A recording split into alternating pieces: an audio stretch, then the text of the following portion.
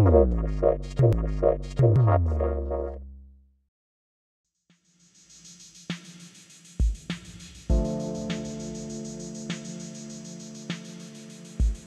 and welcome to Crux Investor. This morning we're going to be speaking with Marshall Koval, the CEO of Lumina Gold. They've got an operation down in Ecuador. We're going to get an update from them. Hello, Marshall. How are you, sir? Great, Matthew. Thanks for having me on. Pleasure is ours. So, Marshall, we've been wanting to hear your story for a while. Um, so, can you give us a two-minute summary uh, of the project, uh, elevator pitch, if, if you will? Yeah, so Lumina Gold Corp is uh, an offshoot of the Lumina Group, and you'll know the Lumina Copper story from uh, the past. Ross Beaty developed that company, so it's the same group, and um, it's the same basic business model as Lumina Copper. Basically, adding value to projects, de-risking them. These are generally large projects. The uh, project that we have in Ecuador is a large uh, gold copper porphyry system. And through the Lumina copper story, we're uh, pretty good at porphyry systems. So the idea here is to add value, de-risk it, do the technical work we need to. But these type of projects are large capital cost projects. So ultimately, we're an explorer developer. And we've advanced uh, the Cangrejos project since 2014. We've completed a PEA study on the project and uh, now we're in the field doing all the field work, drilling, engineering um, related to a pre-feasibility study should we decide to move forward with one. Thanks for that summary. Um, I guess it would be pertinent to start with uh, understanding a little bit about you, your background, how you got involved with the project. Sure. So as far as uh, the Lumina Group goes, I've been involved since 2014. Um, been a business partner in all of the Lumina Group endeavors. Uh, personally, I'm a geologist by profession. I've got 40 years experience in the industry.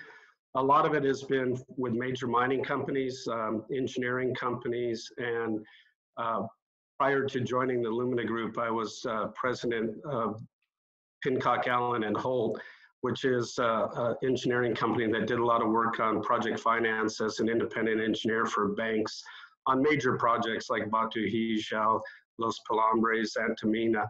So uh, my background is more in engineering development. I've been involved in building mines, so that's kind of the thumbnail sketch. Okay, Marshall, so tell us a bit about the board. There's some pretty big names associated with it. Ross Beaty, obviously. So, uh, you know, who, who, put this thing together? So, uh, you know, this was uh, a Lumina Group effort, and, you know, Ross, and then we have quite a few long-term investors that have been involved with the story. Uh, Rick Rule, Aziz Sharif, um, management owns quite a bit of the Ross and management owns quite a bit of the company, about 27.5%. Mm. I've got about 4% of the company myself. So we're really well aligned with shareholders. And, and that's been kind of the philosophy of all the Lumina Group companies. Right. And so, and who are the active members in terms of the project itself? So, uh, I act as the CEO. Scott Hicks is VP of Corporate Development. Uh, Martin Rip is uh, the CFO. Martin's been involved with Illumina Group companies for quite a while. Um, in country, our uh, vice president and country manager is Diego Benalcazar. He's our senior VP. Diego is Ecuadorian geologist with substantial experience in Ecuador and internationally, and he's been a key player. And then on sort of government corporate affairs, um, John Ewell, who's been with the Lumina Group for quite a while. Leo Hathaway is uh, is the key guy as far as geology goes. He's been uh, with Ross and myself since 2004. So we have a senior management team that's worked together on quite a few of these projects, uh, both through Lumina Copper and today. Right. And how do you how do you deal with the local issues? Because you, you spend a bit of time in your deck talking about that. Obviously, it's a fairly new mining jurisdiction. So how's that work? Yeah, I mean, basically, um, I'm directly involved myself a lot with the government relations and actually in the field with, with the communities as well. Um, Diego uh, Benalcazar, country manager, is real key. Um, he's based in Ecuador. Uh, John Ewell, our uh, VP of Government Affairs, is down there every couple of weeks. And so basically, we've got a, uh, pretty robust um, corporate social responsibility team focused on community relations. And we've got quite a few people in the field in our camp, um, good relations with local communities. We don't have indigenous communities in the area, and the, and the closest community is about seven, eight kilometers away. We have a lot of programs with them, several employees, and it's primarily agricultural areas. So a big focus of the company is on uh, CSR and community relations, as I mentioned. Right. Okay. And and and given the team has been together for a while, um, this is a long this is a long term play um, in terms of getting this thing to the production. But that's not necessarily your end game. So can you explain what your business plan is? Right. Yeah, so basically we acquired the asset in 2004. We were an early mover in Ecuador. Uh, we saw things were changing. Um, we did a lot of work compilation and, and put a big portfolio together. And then you probably saw last year in August, we split Luminex resources out of Lumina Gold, and that was more earlier stage copper projects. And subsequently, Luminex has um, deals with BHP that we're working on now, with Anglo American and with First Quantum. And that's more of an early uh, stage exploration play. So the philosophy with Lumina Gold is that this is a development project. It's on the development pathway. It's large. Uh, right now we have four drill rigs in the field and, and we're drilling. We're doing exploration drilling. We have a new discovery area called Gran Bestia um, that's separate from the main Cangrejos deposit, and I, I can give you a bit more details later. Yeah. And um, we're doing the geotechnical, hydrogeologic, environmental work, uh, also doing a pretty robust metallurgical testing program, and, and we're supporting all that with these four drill rigs. So, so far this year, we've drilled about uh, just shy of 8,000 meters, uh, and it's been divided between Gran Bestia deposit, where we have about six drill holes, and plus 200 meters of drilling. And that's really exciting because it's got the potential to change the whole project, make it even bigger. You know, the PEA had about a 400 million ton project that we had identified. Um, so it was roughly a 16 year mine life. And uh, there's a lot of things beneficial to the project in Ecuador. It's close to a port facility, it's close to infrastructure, power, roads, that sort of thing that'll help the project. So back to your start of your question, the idea here is to continue to understand the magnitude of the project, to de-risk it technically, socially, environmentally, and then move the project on to somebody that would build it. You know, we're looking at initial capital cost on the project of over $800 million, uh, and then an expansion in year five that would require another $400 million roughly. So um, it's a big dollar project, and you know, we're a one asset company, a junior developer. So, you know, it, it's logical that a major or mid tier uh, producer would take it on and build it. So, so if I just understand that, you, you, obviously the, the management, the board, friends and family have got about 27.5% of the business.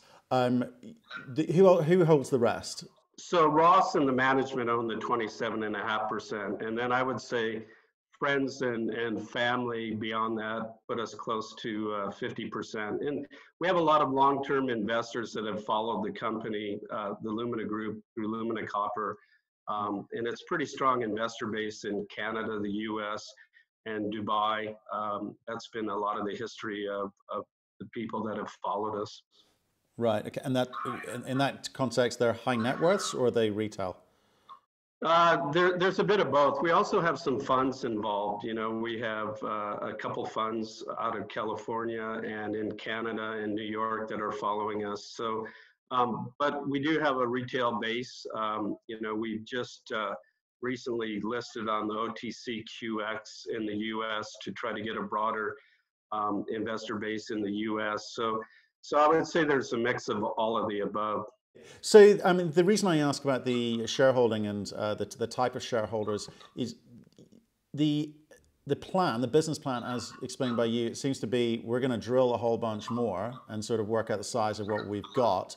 But how do you put that in the context of explaining to existing shareholders or new shareholders coming in what the plan is for creating value?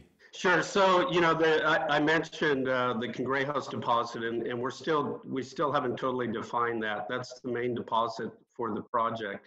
Hmm. And uh, we're drilling it now. So basically, there's an opportunity for that main deposit to grow. but Gran Bestia, which is about a kilometer to the northwest, um, isn't included in our resource that we used in the PEA. And we've got some really long drill intercepts that are above the cutoff grade that were included in the mine plan in the PEA. Mm-hmm. So it looks like we have either a satellite deposit that'll be a, a new starter pit for us, or it'll add mine life to the project. So basically, if you look at it, um, the PEA resource, we had about 8.5 million ounces of gold and a billion pounds of copper. So this thing is really large scale. So, and it's growing and it, has got the potential to bring the Gran Bestia deposit in. So if you look at where we're at in the market as far as share price, you know, we're, we're trading at a really high discount to NAV and there's a lot of upside and, and we haven't unfolded the whole story as how large this deposit is. And uh, this is formerly a Newmont project. So what we would anticipate is as we start to understand the larger nature of this and, and de-risk it, that there'll be a lot of upward movement in the share price potential with a with a gold price environment that's increasing. And you know, we did the economics of the project at 1300 gold and uh, 325 copper. So that's roughly where we're trading um, in the market today. And there's a lot of optionality in the project. So if we go up to $1,400 gold, for instance, the project gets a lot bigger. So the upside is um, being able to come in now and, and, and low point in the market or relatively low point. We moved up a bit since last year. And then as we uh, add value and de-risk this, um, the potential to move up and ultimately uh, dispositioning the company with a, a buyout. Okay. I mean, I mean, you touched upon a couple of a couple of points there. I mean, you you put the numbers in there at well, 1400 on page 7, 1300 on page 11 on, on the gold. And as you say, yeah. you know, the, the, the, copper price is also quite well priced uh, considering the, yeah. you know, today, today's pricing. Why, why have you shown the numbers using those, those uh, high prices? Do you think it's justified? Well, basically, the uh, this study was done back uh, mid last year, and at at the time, those prices, we looked at analyst estimates, we looked at consensus, and um, looked at uh, pricing going forward, and that seemed like a good place to be. At the time when we released it, gold was about 1350, um, and then when we did most of the work, and then when we released it, it moved down towards the 1300 and a bit below. Will you will you be releasing uh, an updated PowerPoint with you know slightly more discounted gold and copper numbers, or are you going to stick with what, what's in the deck? So what what I think we would do in the current market is is be right in the same ballpark. And you know, our plan right now is um, to update the resource in the second half of uh, 2019, and then we have most of the field work done in the metallurgy and basic engineering that we can move to a pre-feasibility study.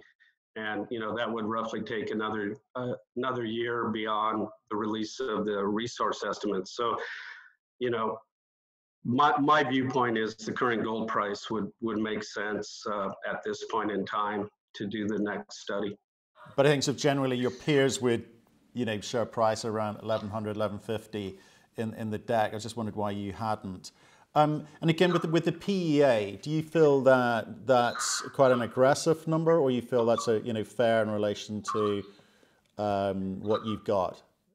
Yeah, no, I think it's a it's a fair number. Uh, basically, a lot of engineering backup went into this. I mean, you see a lot of you know my background is uh, running engineering companies and, and serving as independent engineer for banks on on projects. So the way we look at a PEA is it's a full industry scoping study. Um, we do a lot of engineering backup to support it, and then we extract the uh, the results from the PEA and uh, results from the scoping study and put those into the PEA. Right. Okay. Because because again, you know, the IRRs at the moment using you know high gold number, a PEA which typically you know with my investor hat on, I'm, I'm going to go yeah. plus or minus thirty percent. Um, you know, the IRRs right now, they're not complementary to what you feel you've got. Is that because, again, coming back to we need to be, th- as investors, we need to be thinking this is a long term play? Basically, when you look at large projects of this sort of scale, to get a project like this up to a say a 20% IRR, which uh, we show um, in the deck uh, at, a, at, I believe it was $1,400 gold price roughly.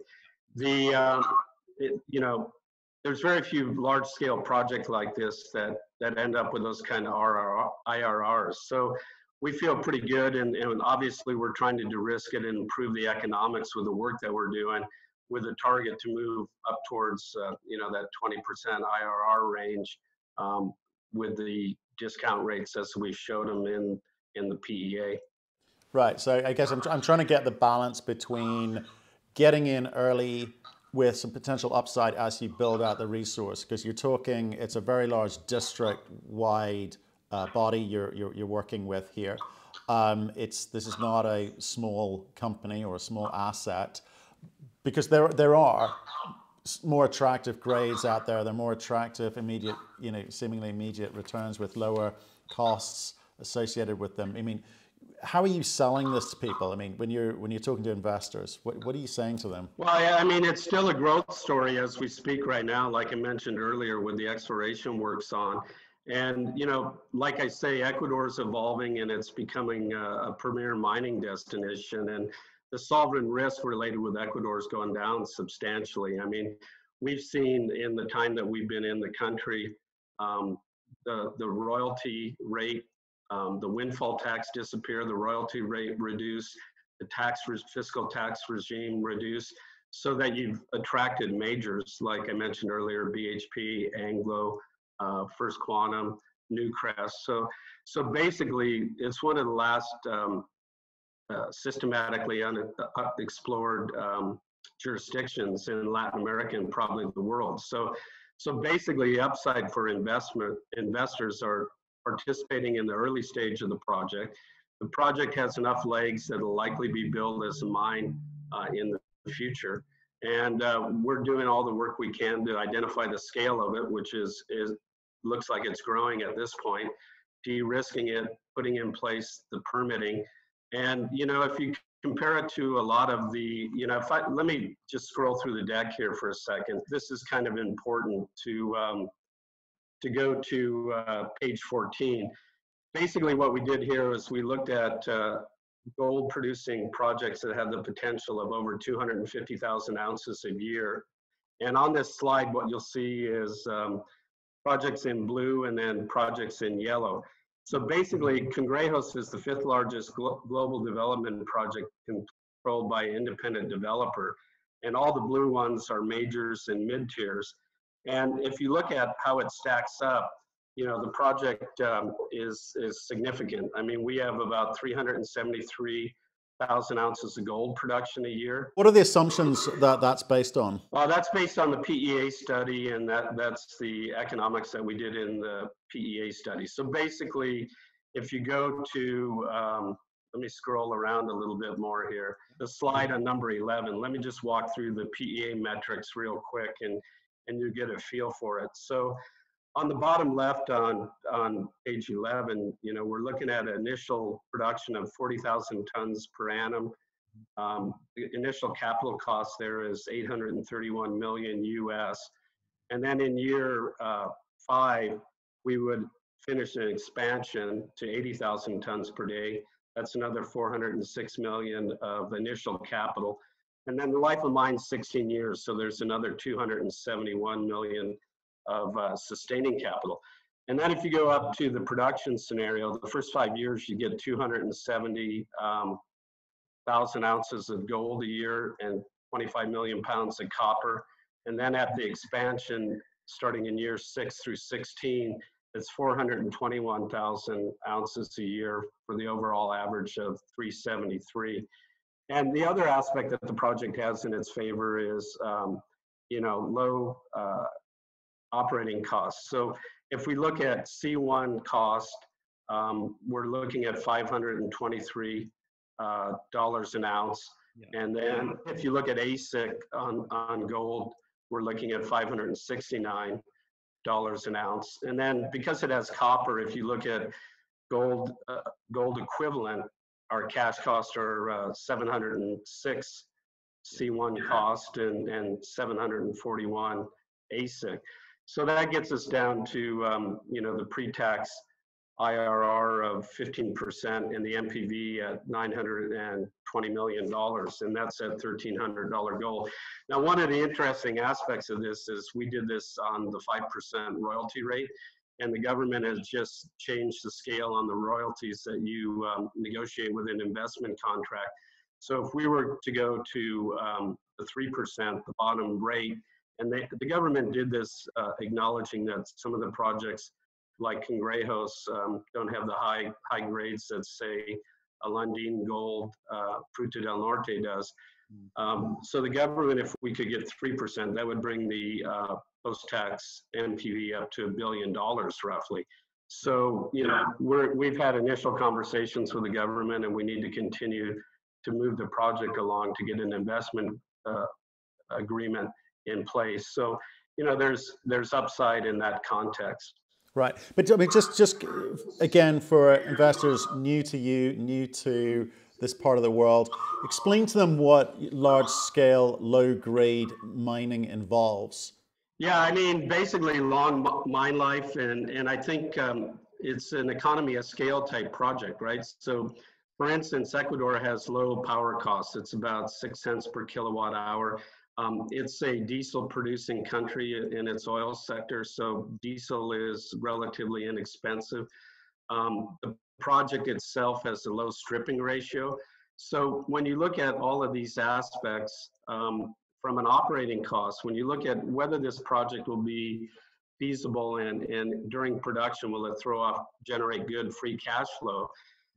Really, it comes down to two things. It's not so much the sustaining or the initial capital, it has more to do with the operating costs and the gold price, right? So we can't control the gold price environment, but we can, um, with the scale of this thing, be very effective in, in the operation of it. And so there's quite a few things going for it. That's why you see on page 11 that it's got favorable uh, cash costs, right? And when you benchmark it against a lot of other uh, gold projects um, in the world, and you know, if we go over to um, slide number 15, for instance, when we start to look at uh, average gold production versus all-in sustaining costs, Cangrejos, um, it ranks really well compared to its peers, you know, and, and that even includes Fruta del Norte, that's quite a bit higher grade. Uh, we're producing similar amount of gold every year. And then if you look at um, the mine life versus uh, the US dollar capital per ounce of mine, the capital efficiency, as you would say. You know, it's sort of $250 um, uh, an ounce. So that benchmarks well with peers as well. Yeah. So Cangrejos, um, compared to other independent developers, is a long life, low cost asset. And, um, you know, if you go back and you look at um, page 14 again, you can see a lot of the um, high capital cost projects or a lot of the blue projects to the left of Cangrejos um, you know, a lot of those projects are looking at quite a bit higher initial capital to operate. Yes, um, again, help us understand this a bit better. So this is all being based off a PEA, which is a very, well, it clues in the name, preliminary document. Um, sure. But you know, in terms of the team's experience um, of moving projects from PEA stage, you know, the assumptions you're making, why you're tell us yeah. why you're confident of being able to you know get through to uh, you know a point where someone will want to take this off your hands because the, the, economics are delivered as you are um, forecasting them here. If you look at um, our history with um, the Lumina Copper story, and that's the best way to compare it when we, um, the first major project that we advanced, and it, it's a mine today, is the Caserones mine in Chile, and it's it's a large uh, copper porphyry mine. Listen, we took the same approach. We went in and explored it, tried to fully define it. We went ahead and, and de-risked the project, and it was uh, acquired by Pan Pacific. So the key to that was really good, solid engineering exploration work so that the project was de-risk. And then we moved on. I was the CEO of Northern Peru Copper, and that project was acquired by China Minmetals and, and Copper.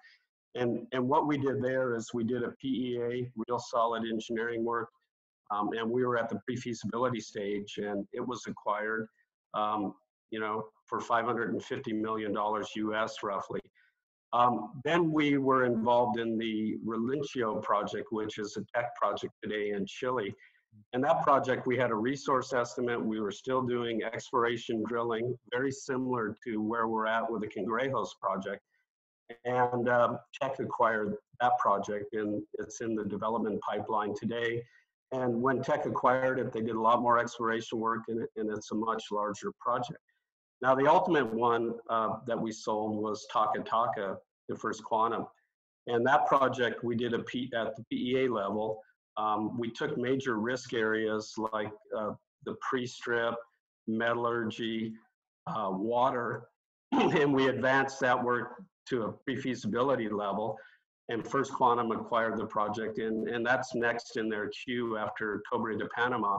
So that's going to move into the development scenario. So I think um, as far as an exit goes, basically um, the level of work that's being done now should give most companies uh, comfort uh, that this project can move forward and, and be economic in the future. And obviously a lot of that depends on the, the gold price, copper price environment. But uh, you know, there's very few projects out there with this sort of scale, particularly ones that are in independent um, developers' hands. You know, uh, so I think that the potential for a major mid-tier to come in probably before we even complete the pre-feasibility study exists. And then ultimately, if we have to continue to move towards pre-feasibility study, we're doing all the work right now to continue to advance the project. Okay, so I'm hearing it's a large project. We've seen it before, we've done it before, and we've delivered for investors before. Exactly, exactly. And, and I think just to, to highlight that in the Lumina Copper scenario, um, we raised about 175 million and returned about 1.5 billion to shareholders. And and I guess maybe the best way to look at that is if you flip over to um, slide number 17, um, you can see the the tombstones for all the different companies that have been part of the Lumina Group. Yeah. And uh, you know the senior management team and Ross have been involved in all these companies, and you know that's been our that's been our business plan, our model and we've been very successful at it, and, and very few companies uh, have done that. Right. I guess on, a, on another note, the Anfield Gold uh, asset that's shown there, that was merged with uh, Trek uh, and with um, Newcastle to form Equinox Gold, where Ross is the chairman. So, you know, we have a long history. We have access to capital. We have the ability to execute technically and we have the wherewithal socially, environmentally to navigate difficult jurisdictions. And Ecuador is evolving in a really positive way. Um, and uh, we feel that we'll be successful in Ecuador as well with Lumina Gold. Yeah, no, we, we, we heard the Equinox story earlier uh, this month. Um, great story there. Uh, do you think that you know the Ross Beaty factor always helps? Because you said it just now you don't you feel confident about being able to go and raise capital for the next stage. So on the on the money front, you've got 14 million bucks in the in the bank now. You're gonna what are you gonna deliver in 2019 with your cash? Basically, that cash gets us through through the year, and you know the bulk of the money is going into the ground in in Ecuador right now, related to the drilling programs, the engineering work, uh, the metallurgical work, uh, all of that is uh, where the majority of that money is going. We run pretty thin corporate overhead. Um, so most of the money is in the ground and it's going towards de-risking and further understanding the, the extent of the uh, project, particularly understanding the new Gran Bestia area, which could be a, a project changer from the PEA. Right, okay. Um, and are you raising any more capital this year or are you good? We, we don't anticipate it at this point now basically, if you look at the history of the Lumina Group, um, we've just got uh, six holes into Gran Bestia. Newmont drilled five holes. We just finished a hole that was some 800 meters uh, deep, and uh, we hit mineralization through it. And we're in the process of um, really getting into the Gran Bestia area. Now, if we continue to have good success there, we may bring more drill rigs in and that's the history. Like if you look at the Taca Taca project, we started with one drill rig and ultimately ended up with 10 drill rigs. So that's the only thing, continued success there that could change um, the spend uh, for the year. And if that happened, we would uh, evaluate where we sat cash wise and determine if we need to go back to the market. Marshall, our investors want to know how you're going to make the money. How, do you, how can you answer that question? Yeah, I think basically one of the main ways to uh, look at that is we still haven't dis discovered the full scale of this project. And, and I think what I want to do is direct you over to um, slide number 10 in the deck. And I think this really um, shows you the upside here, which isn't realized in the market at this point. And basically, if you look at the right side of slide number 10, that is uh, the Cangrejos deposit. And basically what you see on this slide is um, the pinkish color is all of the gold equivalent grades between 0.35 and 0.85. That's all above the cutoff grade that would go into the mine plan in the PEA. And then the, the hot red color there is over 0.8 grams per ton gold equivalent. And what you can see in this slide is that um, there's a significant deposit in the Cangrejos deposit at the right where the majority of those drill holes are. And about a kilometer to the left of that is the Gran Bestia project. And basically what you see there is um, five of the uh, Newmont holes and, and two of um, two of our holes. Subsequently, we, we drilled four more holes and this thing's holding together. What we don't know is if these this is a true satellite deposit, if the two deposits are connected and are one deposit. So if you look at that slide, there's um, this breccia outcrop at the surface, which is 4.8 grams per ton gold and uh, 2.3 grams per ton silver. And basically, there, there's some other in, intercepts around 10 grams. And this is all at the surface on the, on the very edge of um, the pit, which is that gray outline. And listen, if these two things are connected and, and we're going to drill in between, we're going to fully understand the size of Gran Bestia, which looks large at this point. If these two things are connected, you've got a really large pit, which would totally change the scale and the economics of the project. Yeah. So as we have it right now in the PEA, um, just the deposit at Cangrejos on the right is included in the PEA. Everything to the left um, at Gran Bestia is not. So that's going to be new resources added. And if the two are connected, it's a substantially larger deposit. So there's upside on the scale of the project, the number of gold ounces. And potentially the grades are, they seem higher at the surface. Why is that? Uh, you know, that the outcrop at the surface, that could be a little bit of secondary enrichment uh, from the oxide near the surface. Um, but we do have good gold grades. Um, for instance, the best Gran Bestia gold grade was, uh, I believe it was hole number 99, was 208 meters of, um, of 0.91 grams per ton gold and 1.16 uh, copper right from the surface. So, you know, like I said earlier, we're looking to see if Gran Bestia will be a higher grade near surface starter pit, um, or if it'll just add resources to the mine life of the project. So there's some real upside in, in the, the scale of uh, gold ounces that could potentially be discovered here. So that's a big upside for investors. Thanks for pointing that out. Um, and do you think there's any, I mean, what, what else do you think the companies the company is going to be able to do this year to again just just drive that market cap, drive the share price? You know, how are you promoting this, for instance? Yeah, you know, it, it's it's kind of been a, a story that um, for quite a while we've sort of been flying under the radar. We were consolidating our land position um, in the district. Now we control 100% of the known uh, mineralization at uh, and, and Gran Bestia.